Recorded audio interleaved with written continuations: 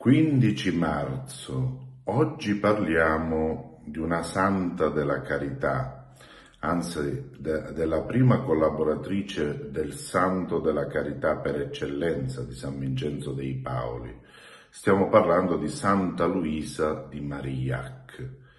Insieme San Vincenzo dei Paoli e Santa Luisa di Marillac fondarono le figlie della carità il 25 di marzo 1642. Le figlie della carità sono tuttora la congregazione femminile più numerosa, circa 21.000 sono in tutto il mondo. Non solo, ma eh, sono conosciute nell'immaginario collettivo per quel cappellone che portavano fino alla riforma liturgica, fino alle riforme del Concilio Vaticano II Diciamo subito che adesso i vestiti delle suore sono molto più semplici per motivi pratici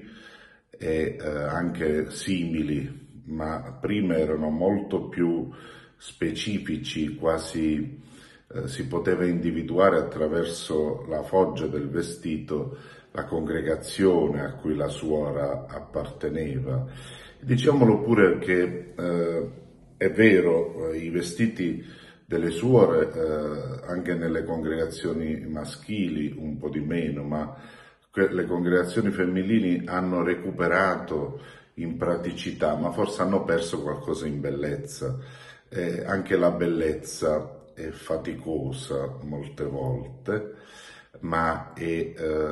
necessaria perché eh, mi fa sempre riflettere, insomma, il fatto che nonostante la maggior parte dei preti oramai non indossi la talare, purtroppo, a cominciare da me, eh, eh, e nonostante che le suore attualmente si assomiglino tutte,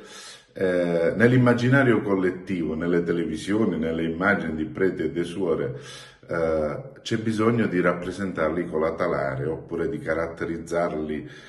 caratterizzarle le suore con questo cappellone. Questo dovrebbe farci un po' riflettere su che cosa voglia dire, ecco, eh, riformare, adattarsi al tempo, magari ciò che è bello, ecco, non dovremmo toglierlo. Eh, squadra che vince non si cambia l'immagine è anche importante, no? non è eh, il, il, vestito che fa il monaco, ma un buon monaco porta eh, il vestito, la veste. Bene, Luisa de Marillac nasce nel 1591 in circostanze misteriose. Prima avvenivano queste cose. Eh, dunque viene denunciata come registrata meglio come figlia illegittima eh, da un certo Louis de Marillac, Luigi di Marillac,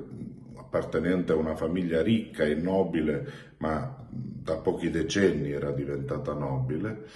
e alcuni dicono che sia lui il padre eh, di questa bambina, altri dicono che egli si sia assunto la paternità per salvare qualche suo fratello o parente eh, che magari non avrebbe potuto avere figli, ecco dallo scandalo. In ogni modo ecco viene registrata come figlia illegittima di questo Luigi de Marillac e eh, le viene data anche una dote in denaro, per cui eh, fin da 5-6 anni viene custodita in un monastero di eh, domenicane e in questo monastero di domenicane conoscerà eh, la spiritualità di Santa Caterina da Siena, imparerà le buone maniere, imparerà la preghiera, la scrittura, il canto, diverrà insomma una, una vera signora. A un certo punto eh, la famiglia era originaria del massiccio centrale della Francia, delle parti interne della Francia, dell'Orvegne, si chiama così quella regione. Ebbene, eh, a un certo punto lei eh, manifesta il desiderio di consacrarsi, ma le logiche di famiglia eh, quasi la costringono a sposare un certo Antoine eh,